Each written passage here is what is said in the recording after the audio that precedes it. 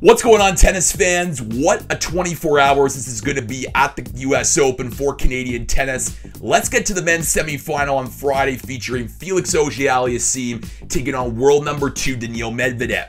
Now, Medvedev is the heavy favorite in this match. He's trying to get to his third Grand Slam final. He's only dropped one set at the U.S. Open thus far. He's just playing on a whole other level. But don't sleep on Felix Auger-Aliassime, who's had an incredible tournament of his own. Of course, that highlight win against Frances Tiafoe. He didn't have to play a long quarterfinal because of Carlos Alcaraz retiring, so Auger-Aliassime should be fresh heading into his first Grand Slam semifinal. I still like Daniil Medvedev to win this one. He's just playing on a whole other level.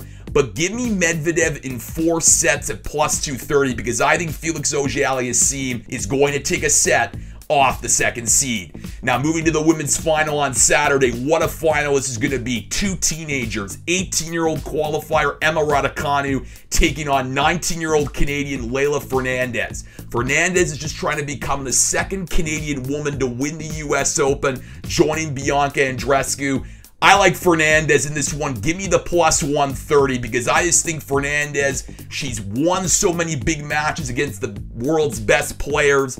And I think she's going to find a way to exploit Raducanu with her crafty shot making. So Fernandez is going to win on Saturday, in my opinion. It's going to be a fantastic women's final at the U.S. Open.